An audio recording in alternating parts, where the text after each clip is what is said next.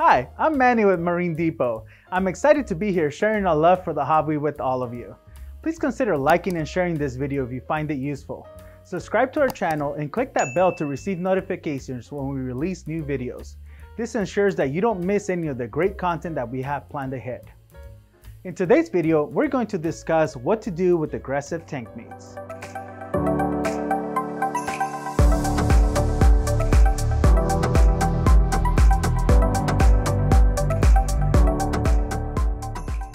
When we picture a home aquarium, we picture a tranquil space filled with color and movement that's relaxing to watch. At least most of us do, right? But reef tanks can be a battleground not only for our corals but for our fish too, as they jostle for territory, feeding, and even breeding rights. Aggressive fish can stress out tank mates, attack new fish, and even attack their owners. They can quickly make life in your tank a living hell. So let's look at what we can do to alleviate that. First place to start is with fish selection. In the planning stages of your aquarium oasis, start by making a wish list of all the fish that you want to put in it. Research their size, hardiness, and aggression, placing the hardiest but most peaceful species in first and the most aggressive in last. That gives the peaceful species time to settle in, rest, and find a home before being forced to coexist with someone who's naturally more aggressive. Let's use, as an example, the common practice of starting with the introduction of a damselfish first. What's wrong with that, you may ask? They are hardy, pretty, readily available, and inexpensive, right? They are good at surviving the odd water quality, initial fluctuation parameters, and beginner mistakes. However, they are naturally territorial and aggressive fish. It's in their nature to stake out a patch of turf and defend it vigorously from other fish that enter the area which in your case, that territory could be the whole tank. Any new fish you put in there will be the target of your damselfish aggression. So least aggressive fish first and most aggressive last, even if last means 6, 12, or even 18 months down the line. Next, ask yourself if you really want or need that aggressive fish at all. Know that when it does turn nasty, it will be difficult to catch and remove from your now beautifully aquascape system that may already have mature rockwork and corals. A common mistake is to assume that not all members of the species are aggressive, or the one that you're looking at in your local fish store isn't causing any trouble in his or her holding tank, and therefore he or she should be fine. Unlike us humans, all individuals of the same fish species act and react in the same way to the same stimulus. So no amount of training will prevent an adult purple tang or an adult emperor angelfish from being aggressive towards others of the similar species. Again, it's in their nature and they are hardwired to chase others of their own kind in the wild as they compete for resources like food or mates. So if you look it up and the books say the species is aggressive, the internet says it's aggressive, and the local fisher says it's aggressive, there is very little you will be able to do to prevent that. It's definitely nature over nurture when it comes to marine fish, and as tempting as the species is to keep, if you want a quiet tank, leave it in there in the store. Next is tank size. The larger the tank, the easier it will be to accommodate aggressive species. So choose as big of a tank as you can. Don't fill it with large fish species and any aggression that does occur should be easier to manage.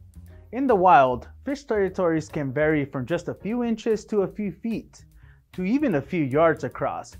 So for some fish, even the largest aquarium doesn't fall within their natural territory size. And remember, even the most massive home aquarium is still tiny compared to the vastness of the oceans. Large tanks make it possible to mix surgeonfish species, wrasses, or accommodate more than one pair of clownfish, as one pair can live at one end of the tank and the other pair can live at the other end, without having to fight over territory. Go big and some aggression traits may fade away.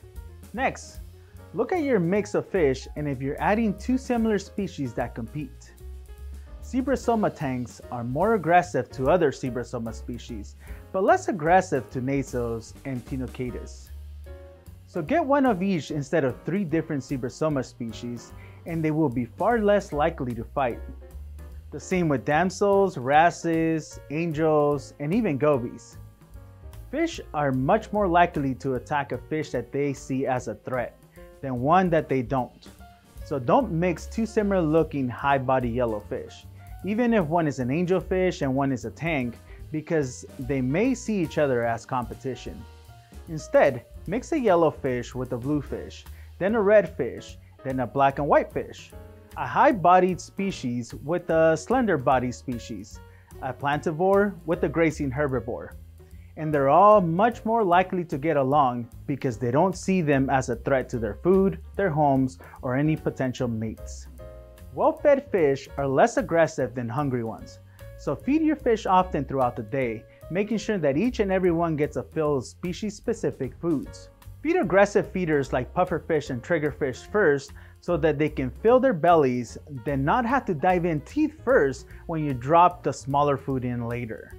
Try feeding both ends of the tank at the same time so that one aggressive fish can't be in two places at once. And feeding floating and sinking food simultaneously distributing the food so that the entire feeding area can't be dominated by one or two aggressive fish. This technique also allows food to float past all areas and all fish in the tank. If you have an aggressive fish that you don't want to give up or don't have the luxury of upgrading to a larger tank, try a trick that cichlid keepers use and rescape. Catch the aggressor and place it in the sump or in a bucket and rearrange the rocks in the tank. Try to escape in a way that breaks up the line of sight across the length of the tank, and form natural caves, peaks, and walls which will lack this natural territory. Once rescaped, put the fish back in and they'll be the new fish for once, forced to explore and find a new home, and sometimes that can be enough to lessen previous aggression. Or do they have a favorite cave or pipe? Move it to the end of the tank where they are less likely to snap at passing fish. Feeling bad for disturbing its home? Don't. He's a jerk, remember? If aggression gets really bad, you may need to add a physical barrier to that tank. Divide an area off with a sheet of acrylic and drill holes in it to allow water to pass through, but not the aggressor.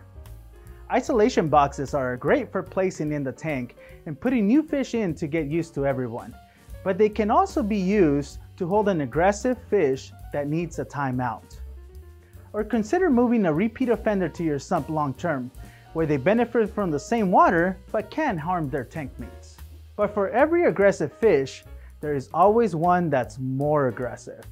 Consider setting up a tank just for aggressive or predator fish like large angels, puffers, triggers, eels, and lionfish. A boisterous surgeonfish, damselfish, or angelfish will soon behave themselves in the presence of a larger triggerfish or pufferfish, so aggression can also be managed that way. While at the same time, allowing you to keep some really cool fish that you wouldn't usually be able to keep in your reef tank.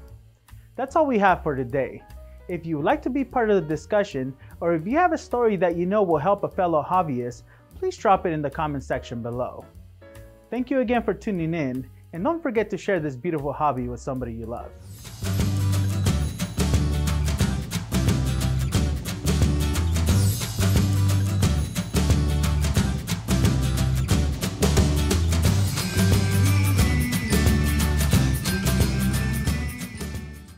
with it will be the tarba. Next, next, look at your fish.